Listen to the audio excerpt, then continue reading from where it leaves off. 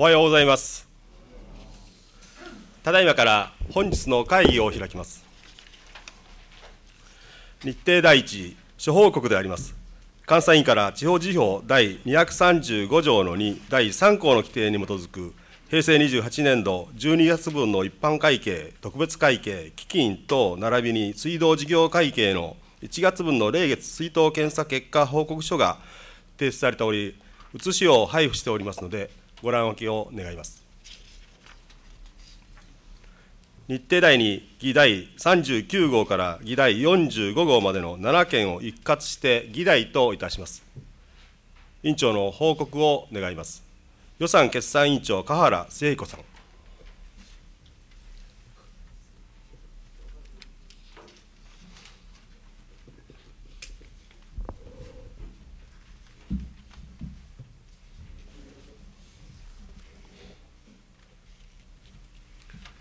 ただいま議題となりました議題39号から議題45号までの7件につきまして、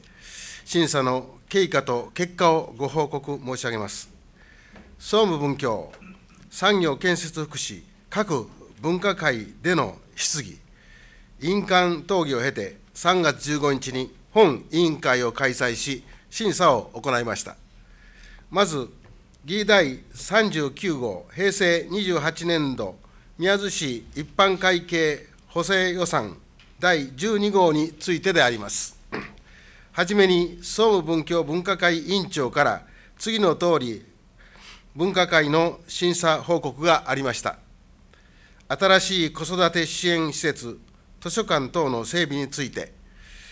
9月定例会では7000平方メートルを改修するとされていたが、今回の参考資料では8000平米とされている。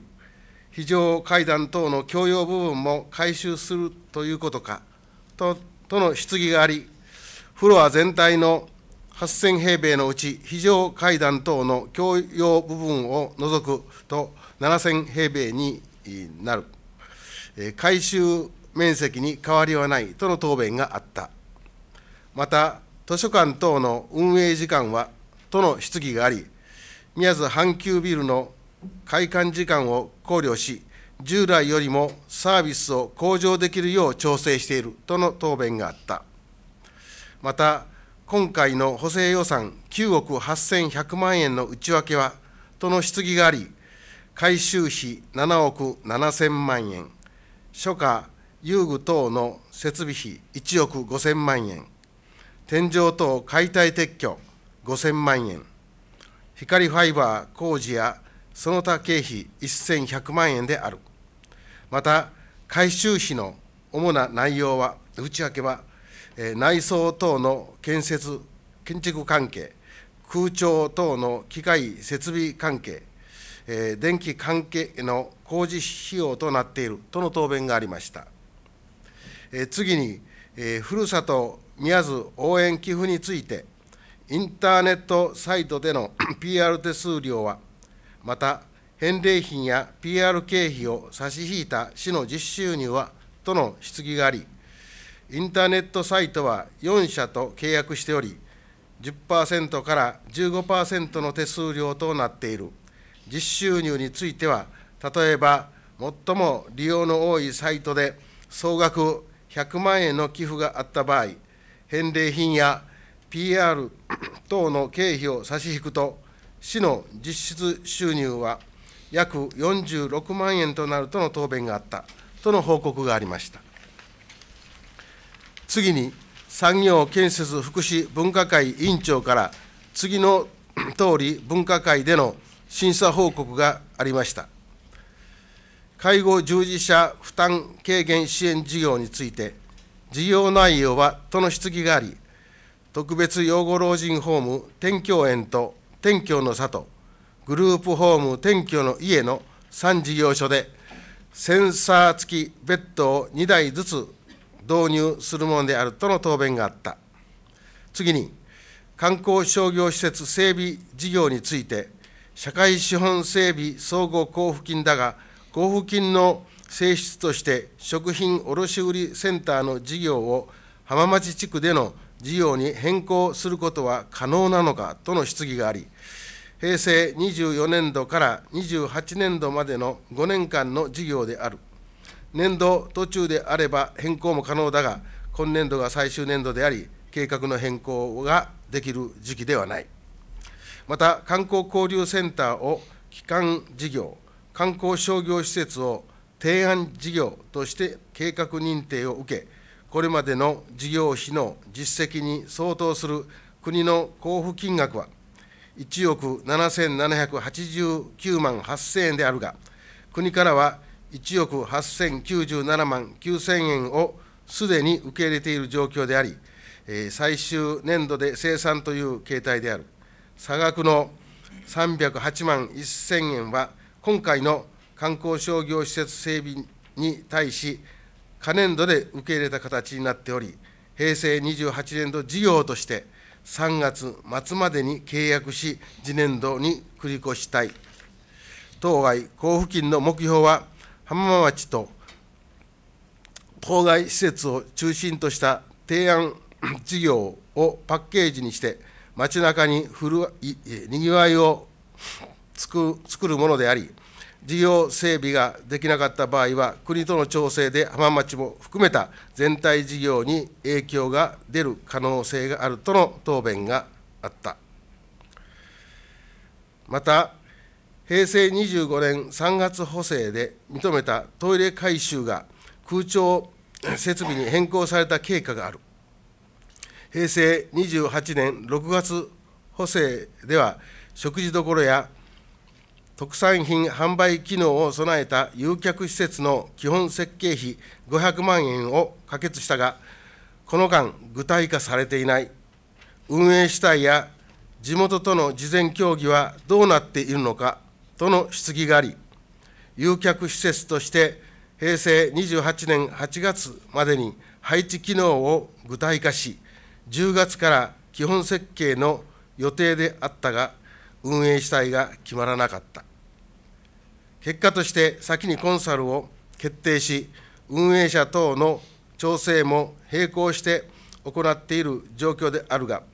改修デザイン等の基本設計が3月28日に完成する予定である。地元事業者等との協議については、約20団体と意見交換をし、地元漁師町漁業会とは役員を中心に4回ほど協議し、前向きなご意見をいただいた。本来なら、基本計画の中間案を示して、補正予算をお願いするのが筋だが、交付金の最終年度であり、位置や回収内容が固まっているトイレの先行整備をお願いしたい。基本計画の内容は策定後に報告し、議会や運営者等の意見を実施設計に反映させていきたいとの答弁があった。次に、浜松エリアの活性化に向けて、都市公園等整備事業について、エリア全体の説明をとの質疑があり、島崎公園のエリアは、宮津会館前の広場やテニスコート、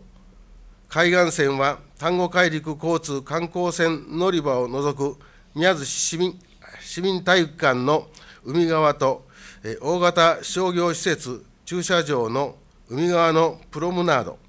また排水機場、浜町下水路を除く島崎グランドから大型商業施設駐車場までの2.6ヘクタールである。整備する地域は、大型商業施設駐車場の東側、真心市、およびパイロット事業予定地の裏側の和風庭園部0.8ヘクタールで3年間で整備することとし、第1期工事として29年度末までに南側の約0.4ヘクタールを整備するものである。整備内容は旧大手橋のミニチュアや中央付近のベニヤエしだれ桜は残すが、主には和風庭園の築山など一帯をフラットフラットにし、芝生化する予定で、駐車も可能とするイベント広場など多目的広場にしていきたい。30年度は海側の残り半分を整備し、31年度は公園区域外だが、排水機場の建物外観を一体の景観にも配慮した集計を考えているとの答弁があった。委員会討議では、観光商業施設整備事業について、運営主体や全体計画が定まっていない中での提案となっている。議案提案においては、短期間では十分な審査ができないため、内容を精査し、提案されたい。また、今後は実施設計段階までに運営主体及び関係者等と詳細を調査された上で、明確に提示されたいとの意見を付すべきである。また、浜町エリアの活性化に向けて、都市公園等整備事業について、30年度以降の公園整備は、まちづくり会議等全体計画の中で十分考慮されたいなどの議論が交わされたとの報告がありました。委員間討議においては、産業建設福祉分科会で、付すべきとされた意見を一部修正して付すべきであるとの議論が交わされました。当委員会として、観光商業施設整備事業について、運営主体や全体計画が定まっていない中での提案となっている。5年間の事業計画の最終年度でもあり、今後は実施設計段階までに運営主体及び関係者等と詳細を調整された上で、明確に提示されたいとの意見を付し、採決の結果、全員賛成で原案可決と決しました。次に、議第40号、平成28年度宮津市土地建物造成事業特別会計補正予算第2号についてあります。総務文教分科会委員長から丹後土地、丹後地区土地開発公社の今後の見通しはとの質疑があり、図書館と複合施設、建物のために先行取得した土地をローソンに貸し付けているため、丹後地区土地開発公社の平成32年までの存続については、他の市長に説明し、理解いただいている。区切りになる時期までに公社の経営改革を図っていく必要がある中、今回の補正予算では、公社が保有する5つの土地のうち3つを買い戻し、整理を行ったものであるとの答弁があったとの報告がありました。採決の結果、全員賛成で原案可決と決しました。次に、議題41号、えー、平成28年度宮津市国民健康保険事業特別会計補正予算第3号についてであります。総務文教分科会委員長から保険給付費増加の要因はとの質疑があり、医療の高度化により、などにより年々増えているが、今年度は特に高額薬剤の保険適用の影響で、医療費全体が増加したとの答弁があったとの報告がありました。採決の結果、全員賛成で原案可決と決しました。次に、議題42号、平成28年度、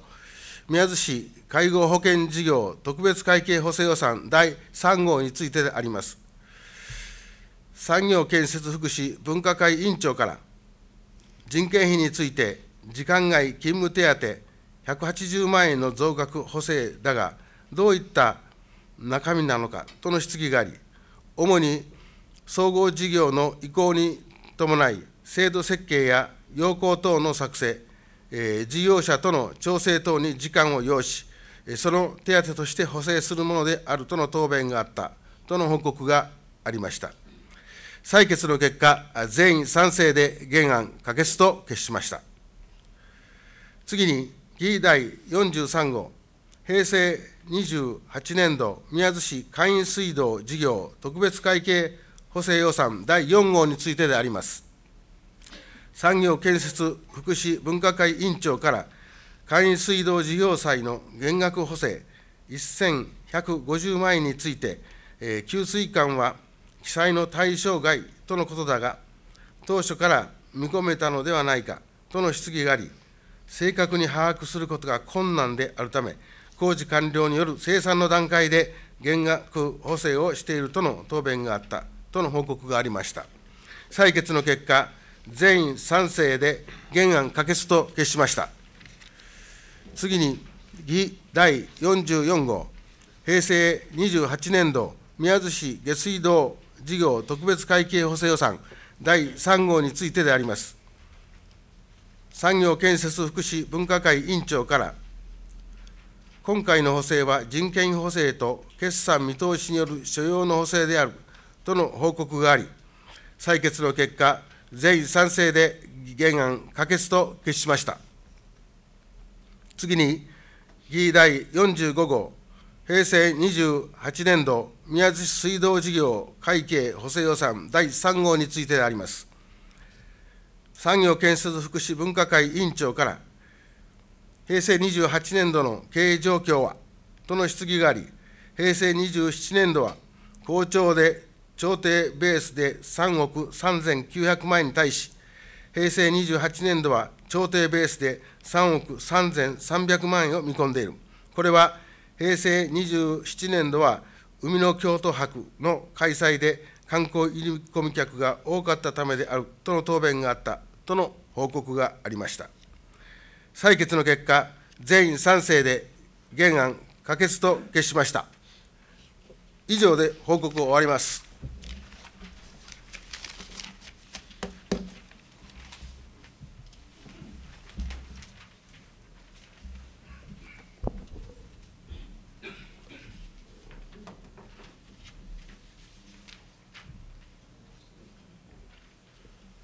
ただいまの委員長報告に対し、一括して質疑に入ります。ご質疑はありませんか？質疑なしと認めます。これで質疑を終結いたします。一括して討論に入ります。ただいまの委員長報告に対し、反対、その他のご意見はありませんか？長林美代さん。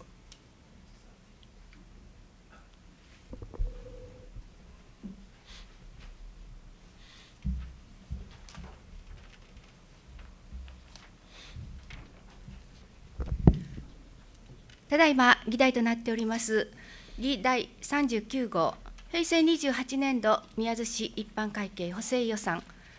第12号につきまして日本共産党宮津市会議員団を代表し賛成の立場から意見を述べさせていただきます。観光商業施設整備事業につきましては産業建設福祉分科会での長時間にわたる議論の末予算決算委員会において運営主体や全体計画が定まっていない中での提案となっている。今後は実施設計段階までに運営主体及び関係者等との詳細を調整された上で明確に提示されたいとの重い意見が伏せられ付されました。運営主体が決まらず、先にコンサルを決定し、基本設計を3月28日までに完成させ、契約を結ぶ予定でありますが、本来なら先に基本計画案を補正予算で示すべきであります。また、この事業は浜町にぎわいづくり推進事業と連動する事業です。今、全国で地方創生絡みの交付金を使ったにぎわいづくりが進められています。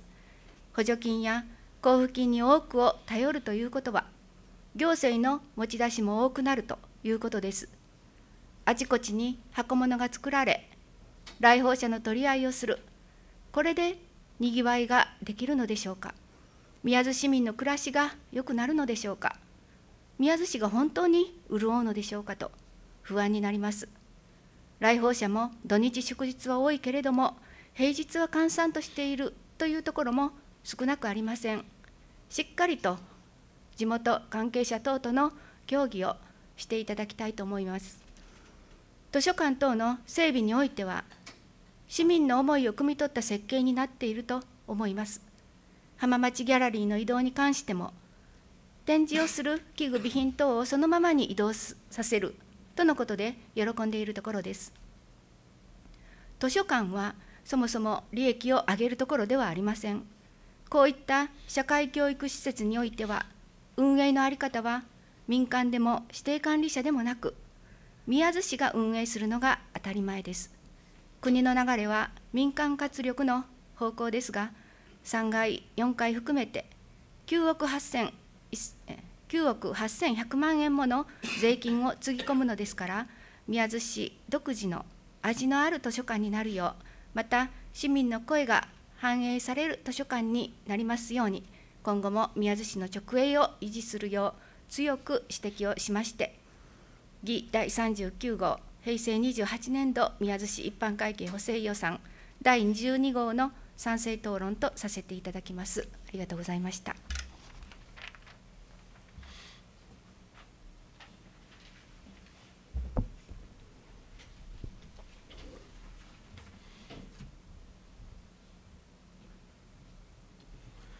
他にご意見はありませんか？徳本義孝さん。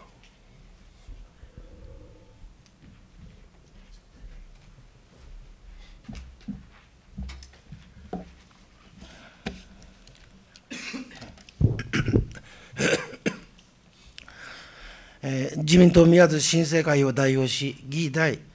39号、平成28年度宮津市一般会計補正予算第12号について、賛成の立場から討論を申し上げます。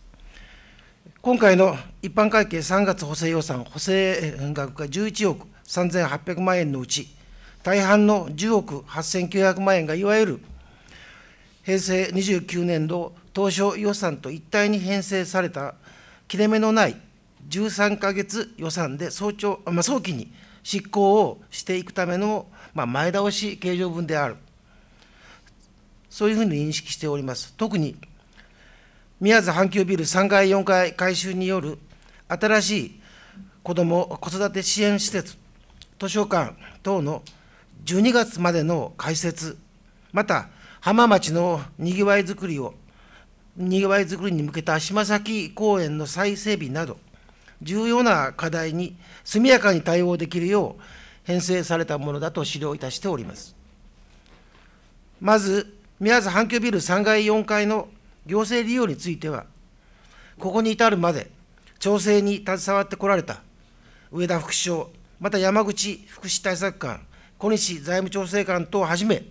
市の関係職員の皆さんに敬意を申し上げるとともに、改めて地域貢献として、使用貸借という形にされた阪急電鉄さんや行政との共存共栄で相乗効果を出していこうそのように決断をいただいた佐藤さんには、お礼を申し上げる言葉が出る次第であります。今回は大きな、大変大きなものだと感じており、宮津市民の台所でもある宮津シーサイドマートミップルが誕生して今年で20年、大きな節目で新たなスタート、宮津再生につながることを期待をしておる。それに加えて、今回は浜町のにぎわいづくりに合わせて、市民の憩いの場として、親しまれてきた柴崎公園を再整備していくことになります。この点については、9月議会においても触れさせていただいたところですが、浜町一体の全体構想を今後どのように展開されていくのか、しっかりとしたマネジメントをいただくとともに、市民の皆さんや議会との共有化が図れるよう、随時丁寧な説明を行っていただきながら、進めていきたいな、進めていただきたいと思う資料であります。こうした中、浜町のにぎわいづくりとより一層の連携が必要な食品卸売センターの観光商業化、まあ、観光商業施設化、これについては、これまでの事業執行におけるマネジメント不足、非常に気になる点であります。ままた今回のトイレの改修や一部の整備を先行することについては、国の社会資本整備総合交付金を活用した5年間の浜町、新浜地区の都市再生整備計画や、最終年度における整理によるものから、理解は一定の理解はするが、今後の整備については決して行政だけが勝手に決めて進めないようにしていただきたい。改めて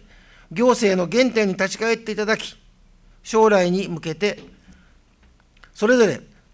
役目を分担をしていきながら、地域の皆様の声、または地域の皆様の思いをしっかりと耳を傾けながら行政を進めていっていただきたい、そのように思います。以上、今回の28年度3月補正予算は、これから29年度における執行が本番であります。井上市長の今後の手腕に大いに期待を申し上げ、平成28年度宮津市一般会計補正予算第12号についての自民党宮津新生会を代表しての賛成討論といたします。以上です。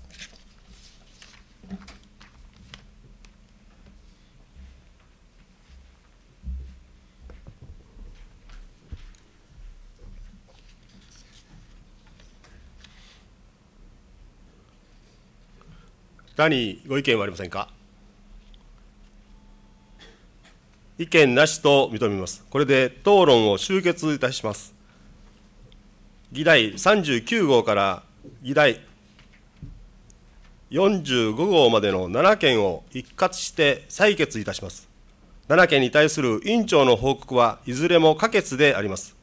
7件は委員長報告のとおり、決することに賛成の皆さんは起立を願います。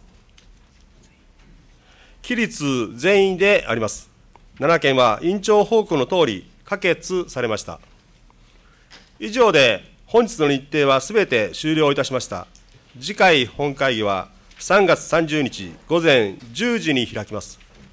本日はこれで散会いたします。